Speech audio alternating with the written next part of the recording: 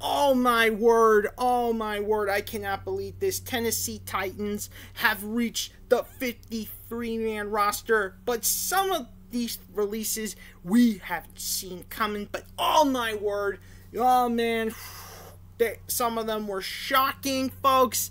I mean, seriously, oh my word. We may not get to all of them considering the fact that it's 29 people, but hey, but hey, you might want to check the description below for the for the full list, folks. Check in the description down below for the full list. Now, oh my god, I gotta check in some of my favorites. I mean, seriously, like Logan Woodside for one thing. I knew when Malik Willis was on that was on that was one of the guys that got drafted. I mean, seriously, when Malik Willis got drafted, I knew it was adios Logan Woodside.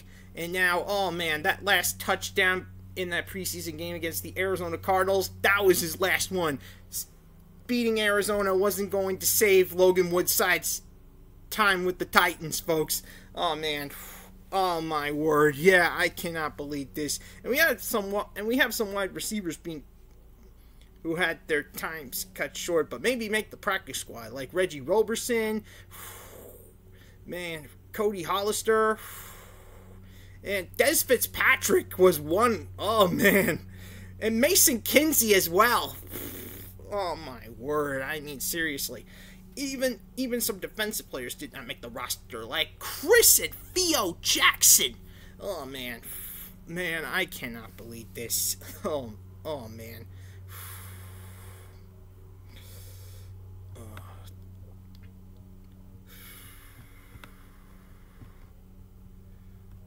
Oh man.